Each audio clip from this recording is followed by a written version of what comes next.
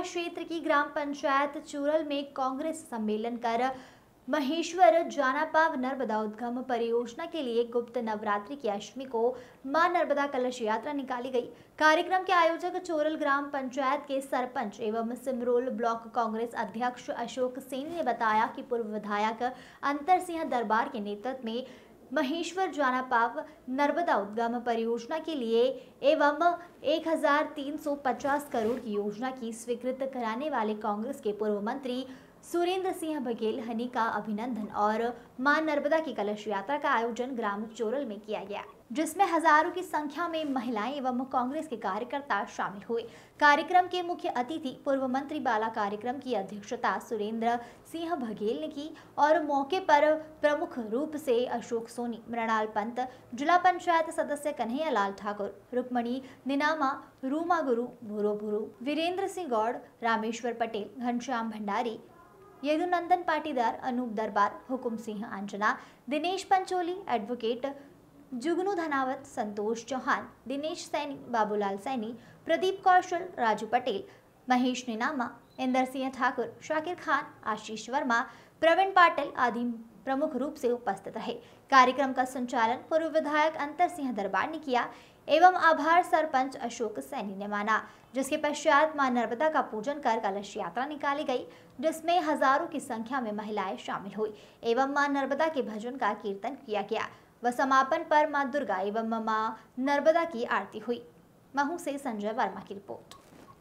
ये सब आप लोगों की सबकी सारी मतलब जानकारी में है कि जो आचरण जनप्रतिनिधियों का कैसा होना चाहिए, मैं समझता हूँ कि ये इस तरह का आचरण शोभा और गवाह नहीं देता है और ये हमारी लड़कियों की, बहनों का, माताओं का, ये सबका अपमान भी है और मैं समझता हूँ कि इनके खिलाफ बड़ी से बड़ी कार्रवाई भी होना चाहिए। जिससे कि इस तरह की घटनाओं की पुनरावृत्ति न हो सके। बाकी कानून अपना काम करेगी लेकिन ऐसा मैं समझता हूँ कि ऐसा चरित्र नहीं होना चाहिए और ऐसा नहीं करना चाहिए ऐसा नहीं होना चाहिए। पूर्व मुख्यमंत्री कमलनाथ के विवादित पोस्ट पर इंदौर भोपाल इन सभी जगह पर लग रहे हैं वो वो फर्जी बनाई हुई है। वो कमलनाथ जी की जिस तरह से अभी कमलनाथ जी की लोकप्रियता का ग्राफ जो बढ़ रहा है उससे भाजपा ने घबरा कर ये नकली और फर्जी इस तरह की ये बना रहे हैं वो, जिससे कि हमारी छवि धूमिल हो जा सके। लेकिन कमलनाथ जी को इसका कोई फ़र्क नहीं पड़ता है। कमलनाथ जी वो लीडर है जो एक लोकसभा क्षेत्र से दसवीं बार, नौ बार वो खुद लोकसभा का चुनाव जीते हैं और दसवीं बार में उनका बेटा जी चुनाव जीत कर आए हैं। तो जिस तरह से छिंदवाड़ा की जनता का जो उन्होंने विश्वास अर्जित कर रखा है, ऐसा ही पंद्रह महीने तक मध्य प्रदेश में सरकार चलाकर मध्य प्रदेश की जनता का भी उन्होंने विश्वास अर्जित कर रखा है भरोसा अर्जित कर रखा है और कमलनाथ जी को फिर जनता भारी बहुमत से चुनने वाली है। इस कारण से भाजपा की ये बौखलाहट है और उसका ये परिणाम है। और नर्मदा लिंक जो आपकी योजना थी पानी की ये दरबार साहब को बनाई लेकिन भाजपा उसका पूरा शेयर सुन लीजिए आज हम लोग चोरल में महू विधानसभा में जो आए हैं जिसके आयोजक अंतर सिंह दरबार जी है यहाँ के सरपंच साहब अशोक सेनी जी है हमारे पूर्व मंत्रिमंडल के मंत्री आदरणीय कमलनाथ जी के मंत्रिमंडल के मंत्री हनी बघेल जी बैठे हैं। वो अभी आप लोगों को इस बारे में डिटेल बताएँगे भी। लगभग 1345 करोड़ रुपए की उद्वन सिंचाई योजना जो महू विधानसभा और चोरल के लिए जो बनाई गई थी 2600 एकड़ ज़मीन के लिए। और आज चोरल और महू की जनता ने हानि बघेल जी का सुरेंद्र सिंह बघेल जी का स्वागत भी किया है। तो हमारी शुरुआत थी और उसके बाद इनको तेज रफ्तार से काम करना था, अभी तक पानी दे देना था। तो इनने पानी नहीं दिया और मैं आपको बताना चाहता हूँ कि घटिया काम कर रहे हैं। हमारे यहाँ पर भी हानि बघेल जी और कमलनाथ जी ने नागलवाड़ी उधन सिंचाई बड़वानी ज़िले में दी थी। परसों जब उसका टेस्टिंग हुआ तो वो लगभग बाईस जगह से बस्ट हो गई। तो उसमें भी उन्होंने जो करप्शन किया है और ये चोरल के और महू विधानसभा की जो उद्वन सिंचाई योजना हमारी कमलनाथ जी को और हनी बघेल जी की दी हुई है और अंतर सिंह दरबार जी के उसमें प्रयास थे और ये जो परिवार के लोग बैठे इनका प्रयास था। योजना का उद्घाटन करके गए क्या कहना चाहेंगे? नहीं देखिए अभी मुख्यमंत्री है तो कार्यकाल है तो जो उनको एजेंडा मिलते हैं या एजेंडा जो बनाते हैं वो उनका अपना काम है। लेकिन हमारा तो कहना है कि अभी तक पानी क्यों नहीं खेतों में पहुँचा? घटिया काम क्यों हो रहा है? हमारी सरकार अभी तक होती तो दो साल पहले हम पानी दे देते और उसके बाद अच्छी क्वालिटी का भी हम काम करते। हैं तो ये तो उनकी सब बनावटी चीज़ें जीत रही है मध्य प्रदेश में एक सौ पचास से अधिक हमारे विधायक चुनाव जीत कर आएँगे। और मैं आपको बताना चाहता हूँ कि वन वन साइडेड इलेक्शन होगा। अब जिस तरह से जो बॉडी लैंग्वेज शिवराज सिंह जी की जो कह रही है बता रही है कि जो बौखलाहट जिस तरह से जो हुई है उससे वो लोगों ने मानना भी उनको वो मानना भी मानना भी बंद कर दिया है। तो 150 से अधिक सीटें हम जीतेंगे और कमलनाथ जी के 15 महीने के कार्यकाल को मध्य प्रदेश की जनता ने खूब याद किया और बहुत अच्छा लगा हुआ था। इसलिए जनता चाहती है कि हम कमलनाथ जी को मुख्यमंत्री बनाएँ। उससे 150 से भी अधिक सीटें हम लोग एमएलए की जीतेंगे। आदिवासी गोलीकांड हुआ था कमलनाथ जी भी आए थे, पीड़ित परिवार के पास, लेकिन अभी तक उसकी जाँच रिपोर्ट नहीं है। हाँ मेरे हिसाब से जो आर्थिक सहायता का जो बोला था, वो तो शायद वो मिल गई है।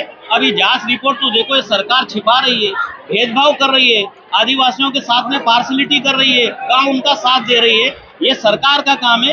इसको भी हम अभी जो 10 जुलाई से जो सत्र लगना है, उसमें हानि बघेल जी और आदरणीय हम कमलनाथ जी और गोविंद सिंह जी के साथ, कांग्रेस पार्टी के विधायकों के साथ में इस बात को भी उठाएँगे और हम सरकार से जानेंगे। कि अभी तक रिपोर्ट क्यों नहीं आई? उसको खुलासा क्यों नहीं किया? का खर्च सरकार का तो विकास किस हिसाब से हो रहा है। बताइए जो आज का आज की जो कलश यात्रा है ये गुप्त नवरात्रि हम काफ़ी समय से पेंडिंग थी। भाई अशोक सैनी जी का सपना था कि कलश यात्रा यहाँ निकाली जाए। तो एक तो नर्मदा जी का पानी यहाँ आ रहा है। इसमें उनका उस उनके लिए हनी बघेल का स्वागत करना था। साथ में गुप्त नवरात्रि थी इसलिए माता जी की चुनरी भी निकालना थी। तो ये दोनों काम एक साथ होने थे। और साथ में हमारे पूरे पहाड़ से आदिवासी भाई और बहन उतरे हैं। तो हमारे आदिवासी नेता उनको वो सुने और उनके लिए क्या योजना सरकार लेके आई है वो सब योजनाओं का यहाँ पर पंद्रह सौ रुपये पाँच सौ रुपये से लगा के सभी चीज़ सब सभी सभी ये योजनाएँ जो है वो इस प्रकार से ये आज का कार्यक्रम। कहाँ कहाँ घूमी ये कलश यात्रा? ये पूरे चोरल के अंदर। वैसे तो पूरी महू तहसील में हमने घुमाई है पर चोरल में विशेष रूप से अशोक सैनी जी का सपना था उसको आज हमने मूर्त रूप दिया। एक मऊ में बात का मूवमेंट भी लगातार जारी है आप बता रहे थे। मैं मैंने जो इस, मेरा आरोप है कि मंत्री जी का इंटरेस्ट नहीं है बाघ को पकड़ने में कहीं ऐसा तो नहीं है कि उनके इंदौर के जो लोग हैं उनको कहीं शिकार करना हो या आखेट करना हो जो उनके बड़े बड़े लोग उनके साथ लगे हैं उसके लिए तो नहीं नहीं तो आज की तारीख में इतने साधन हैं सेना हमारे यहाँ है। क्यों नहीं केंद्र सरकार उनकी है संज्ञान में ला करके सेना को लगा करके वो बाघ को पकड़ा जाए क्योंकि जनहानि हो रही है मवेशियों की हानि हो रही है लोग जंग बोली नहीं कर पा रहे हैं तो कितनी हानि हो रही मंत्री क्या कर रही है भाई मुआवजा भी वन विभाग ने दिया लेकिन है भाई। उससे बाद में दो उसको अगर कोई एक मांग रखता है एक पीड़ित परिवार अगर मांग रखता है कि ये कम है तो मंत्री जी को जवाब देना चाहिए कि वो कैबिनेट मंत्री अगर ऐसा जवाब दे रही है कि बस बहुत हो गया, एक ही बार मिलेगा। ये सूखा जवाब कोई एहसान नहीं कर रहे हैं। सरकार है, आप, आपकी जेब से नहीं दे रही है। प्रयास करना चाहिए। अगर सेंट्रल गवर्नमेंट की उसमें अगर आ रहा है तो उसमें से देना चाहिए। तो ये बहुत ही शर्मनाक और दुखद उनका बयान था, जिसकी मैं निंदा करता हूँ।